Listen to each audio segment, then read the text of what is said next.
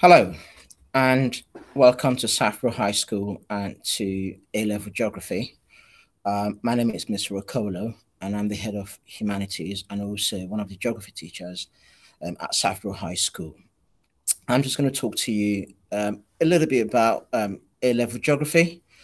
Um, so we're going to look at the exam board, the contents, um, what and how you're assessed and also uh, possible career progression um, if you decide to take um, A-level geography at Southborough. Um, our exam board is AQA. Now we've chosen AQA because um, it's got a very clear structure, um, very easy to follow and very easy to understand. And we think it's you know well suited to uh, our students here at Southborough. Um, so the way I'm going to do this, I've got a presentation as well. As I talk to you, I will show you some of the key information um, via the presentation and we'll take it from there. so um, this is it. So it's um, AQA Geography A-Level and AS. Now, what will you learn on the course? Now, you are going to be looking at three components.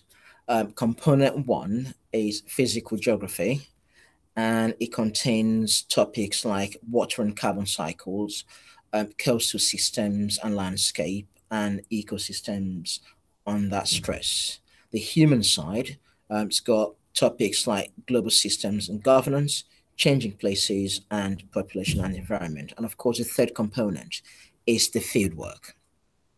Now, what kind of student is this course really for? Now, those students uh, who have an interest and concern for the environment will do incredibly well on the course. Um, it's for students that are interested in current affairs, um, students that enjoy a subject that is quite relevant to their own lives and experiences, um, students that want that opportunity to carry out practical work um, outdoors as well as class work in the classroom. So fieldwork is quite uh, big in geography. And of course, uh, people that want to link both the sciences with the humanities.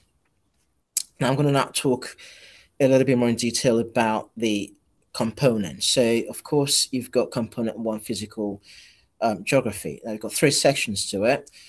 First one is water and carbon cycles. It's pretty much more about the hydrological cycle and also the carbon cycles um, you know, hydrographs, flooding, the drainage system, things like that. Um, the second section, you've got coastal systems and landscapes, looking at coastal processes, um, looking at different types of coastline, types of waves, um, looking at why some coasts are getting eroded faster than other coasts, and also more importantly, looking at ways to manage our coastlines. And of course, the third one is ecosystems under stress. Now, it's pretty much all about the biomes, different ecosystems, why they're at where they are, um, and looking at why some ecosystems are really under stress.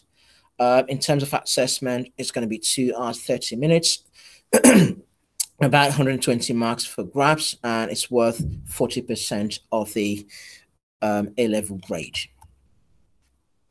When it comes to the second component, uh, you've got three sections as well. Uh, we've got global systems and governance. Uh, the second one is about changing places. You know, as geographers, we're quite interested in the location of places, um, but also we're quite interested in characteristics and the perception of places, pretty much how people feel and think about those places. Now, this is a concept of place, um, and it's very important um, part of the human geography that we're going to be looking at. Um, this third or section C is about population and the environment. Now, of course, population is very dynamic, and we will be looking at how and why population changes. Um, very similar in terms of assessment to component one, again, two and a half hours long, um, 120 marks, and it is worth 40% of the A level course. The third component is a geography fieldwork investigation. Um, the fieldwork will look at both the human and physical side of it. It's inquiry based. Um, students will collect their own data, they'll analyze it, they'll test it, um, test a hypothesis, or solve a problem. um, it is only 20% of the total um, A level um, grade and it's worth 60 marks. Now, they're very important skills that you will develop if you're on the course communication skills, literacy, numeracy, especially when it comes to fieldwork, um, ICT skills, when you're analyzing the data you're going to be getting from the fieldwork. Um, you're going to be learning how to collaborate, working in groups. Um, you're going to be solving problems. Um, and so you've got lots of very key skills to develop if you take the course. Now, what could you do at the end of your course? Well, you will learn many transferable skills um, that are relevant for work and education. Um, so, with its science, you've got engineering, psychology, environmental science, oceanography, geology, and ICT. Now, in terms of uh, humanities, uh, you've got business, you've got law, media, politics, and philosophy, uh, travel and tourism, accounting, journalism, and many many, many more um, um, progression, career, career progression. Um, I've just left a quote there. Geography is a subject which holds the key to our future. so if I go back on here. So from all that I've said, um, you can see that it's a very important course.